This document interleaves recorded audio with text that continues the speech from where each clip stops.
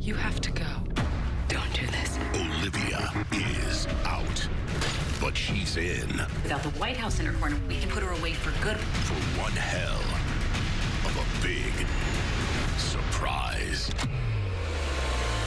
Scandal next Thursday on ABC.